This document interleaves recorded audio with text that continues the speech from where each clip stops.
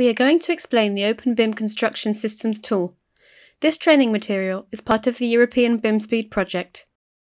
Open BIM Construction Systems is a tool for defining building systems from BIM models. This definition can then be used in certain simulation and analysis programs, for example, thermal analysis. Open BIM construction systems can be used for the following scenarios defining BIM models construction systems, preparing the model for subsequent analysis and simulations in specific software.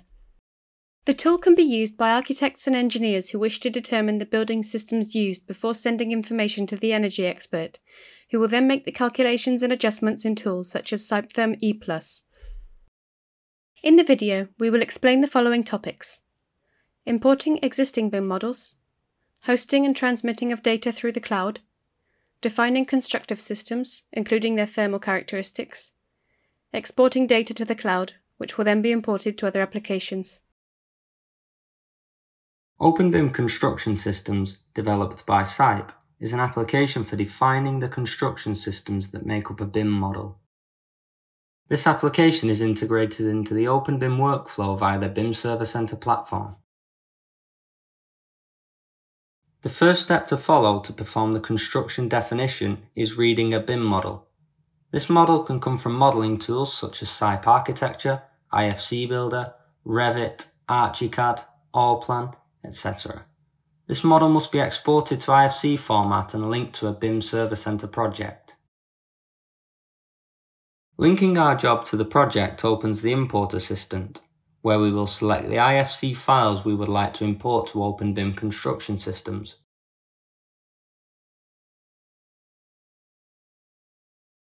Once the model has been imported, the 3D view can be opened to check that the model has been imported correctly. All the tools for defining and assigning construction systems are situated in the top toolbar. First, we have to define them using the Construction Systems button. In the Construction Systems pop-up window, there are two options, Building Envelope and Partitioning System. Clicking on either option takes us to a construction systems library organized into further subgroups. For example, in the envelope we can find the groups facades, party walls, basement walls, and roofs, among others. In each subgroup we can add, edit, copy and delete elements. To create a new construction system, we use the Add button. In the New Elements pop-up window, we must enter a reference matching the name of the construction system, specifying a description and characterization of the construction system, and selecting a colour to represent the material in the project construction model is optional. The tools for creating materials can be found in the lower part of the assistant.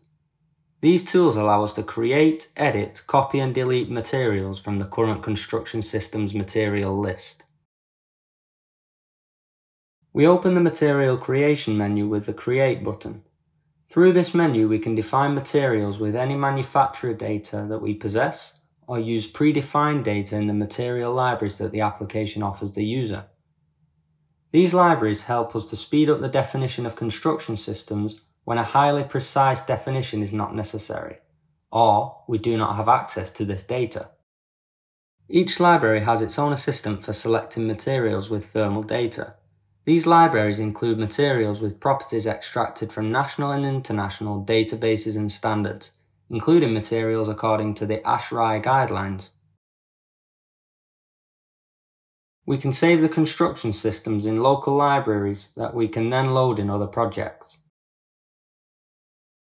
Next, we assign the defined construction systems to the imported BIM model. There are two ways of doing this using the Construction Systems Automatic Assignment tool or using the Individual Assignment tool. The Automatic Assignment tool opens the Assignment Assistant, where links between created construction systems and the BIM model elements can be created, edited, and deleted. To assign construction elements automatically, we have three options by name or reference, by type of element, or by name filter. Any of these three methods captures all the elements of the scene, filters them, and applies a specified construction system to them.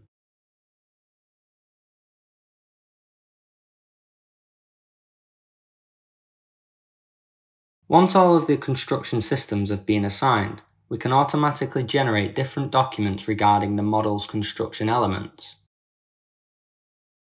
Finally, this information can be exported to BIM Server Center and used in other programs, such as, for example, the CYPETHERM suite. Thank you for your attention.